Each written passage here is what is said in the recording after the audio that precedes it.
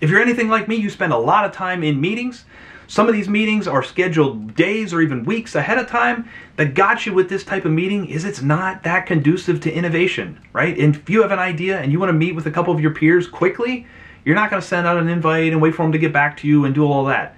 The ideas are lost, things get uh, passed over, you have to wait, the innovation just doesn't go forward. Cisco is attempting to solve some of this and get us back to the digital water cooler, if you will, by adding device hosted meetings. I have a video endpoint here. This is a WebEx board. Uh, this is actually consistent on the WebEx board as well as on the Navigator tablet for the room bars and the room kits and those types of things. Uh, but what this feature is, is device hosted meetings. So the workflow or the use case would be you have an idea, you want to collaborate with some peers or colleagues or what have you, even people outside of your organization, you can walk up to this board, hit the WebEx meeting button. As you can see, this is the typical join experience from before. You can type in the meeting number here if you have a pre-scheduled meeting, but you can also hit start new meeting right from this endpoint. So no scheduling, no extra steps, um, no finding a room that's available because you're already in front of a room. And what you do is hit start new meeting. What's going to happen is the endpoint is going to dial into a meeting.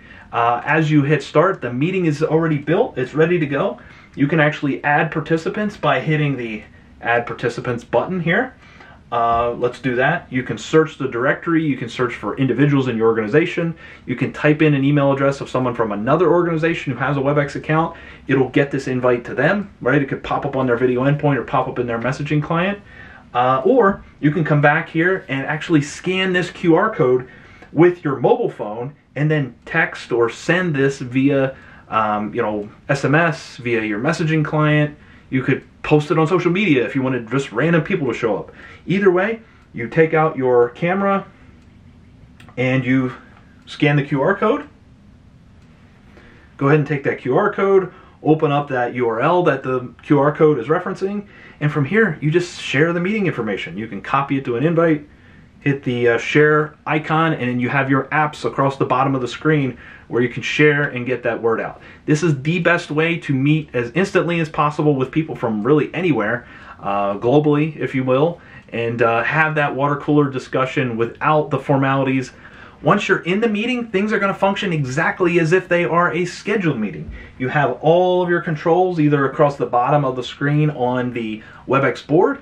You have all of your controls if you're using a Navigator tablet as well. Uh, so you can mute, you know, admit people into the space. You can do all of that type of stuff. Uh, even turn on the WebEx Assistant and closed captioning. All those capabilities are there. Uh, on a WebEx board, of course, you can bring up the whiteboard as well.